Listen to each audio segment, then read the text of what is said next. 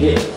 社区呢进行管制的过程，可能有很多民众大家都无法外出，他的亲戚朋友可能想要来拜访。如果住户非居家检疫，非居家可以，非居家当然没有问题。所以目前看两位真的，但是这一位他下来但是就被我们人员进行管制告知。而且现在是社区防疫的，可以进入哦。是我爸爸妈妈在里面呃，还是不能进去。那他们吃饭怎么办？我们会请人协助你的。啊，艺术路是需要居家隔离证的，出来是没有。接下来这一位。我要去买东西啊！我不管了，我已经被关好几天了，很闷哎！我不管了，我想出去。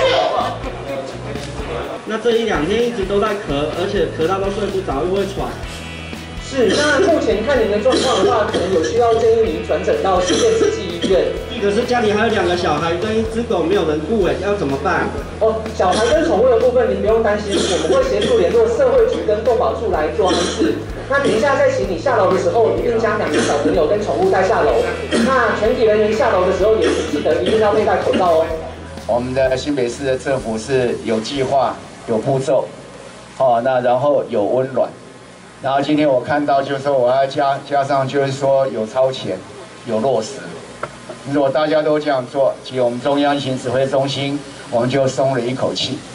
但是未来非常重要，在未来我面临到现在，大家看到整个欧洲情势的一个变化，好，稍不小心，啊，这么进步的一个区域，一下子，哦，就往下这样子落，好，那是一个让人家非常哦惊慌的一件事情。今天的演习，其实我会着重是在超前部署的设。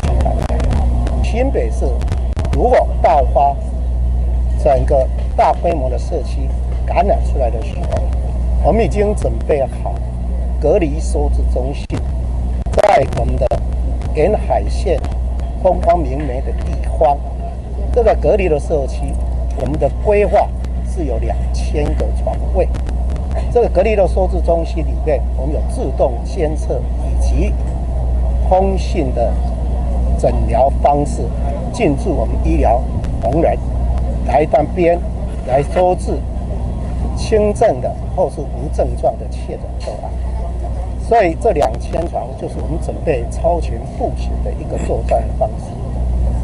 另外，新北市的十七家急救指令医院，我们盘点起来有将近六百七十八床，然后我们再好好的清空计划，可以达到一千床。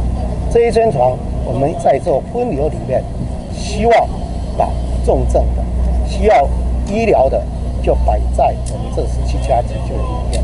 所以新北市面对整个万一确诊的个案达到三千个，我们只有能力来做好对抗病魔的收治能量。